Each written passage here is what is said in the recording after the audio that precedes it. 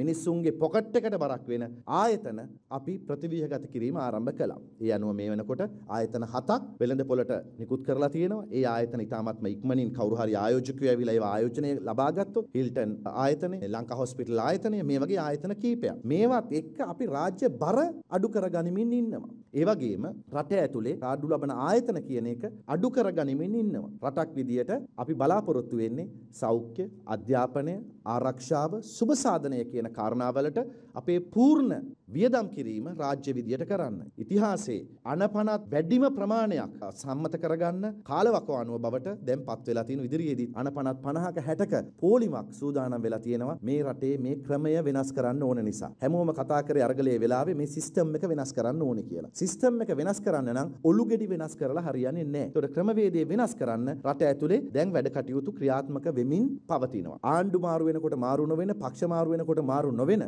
ස්ථිර ප්‍රතිපත්ති ටික සකස් කිරීමත් දැන් සිද්ධ වෙනවා. රටේ ලෝකෙ සිදුවන උණුසුම් පුවත් දැනගන්න සියත නිවස් YouTube channel එක අදම subscribe කරන්න.